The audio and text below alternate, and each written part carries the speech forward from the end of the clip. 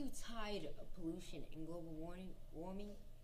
Did you know the main cause of pollution are non-renewable sources like oil, coal, and natural gas?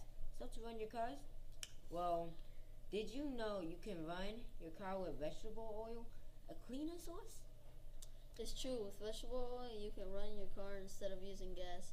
Thanks to biofuels, there's there's many renewable sources that are cheaper and better for the.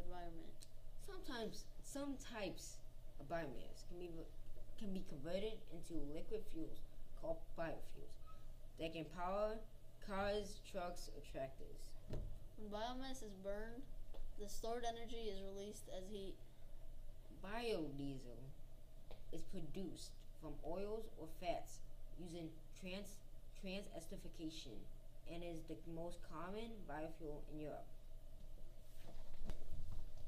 Biofuel can be used to generate thermal energy like fire for cooking.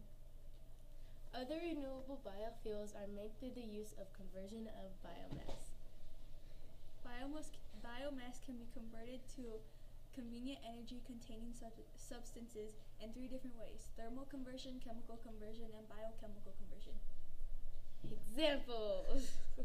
Biomass energy also supports U.S. agriculture and forest product industri- industries. More examples.